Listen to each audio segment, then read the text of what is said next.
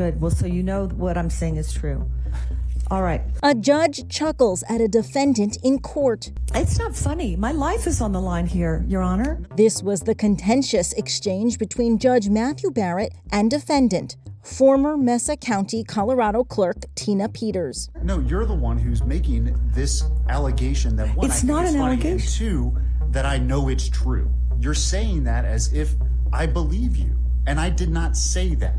Okay. That is why I made the sound because it's insulting to me for you to just put that in a record in front of all of these people that I believe something to be true. Okay. And I apologize for that. A jury found Peters guilty of several charges, including attempting to influence a public servant during the 2020 presidential race.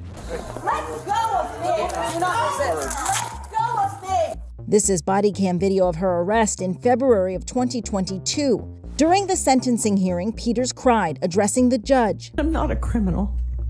And I don't deserve to go into a prison where other people have committed heinous crimes. The only crime that I did, and, and some people have said I'm not remorseful. Yes, I'm remorseful. Yes, sir. She was sentenced to nine years in prison. This is Inside Edition Digital.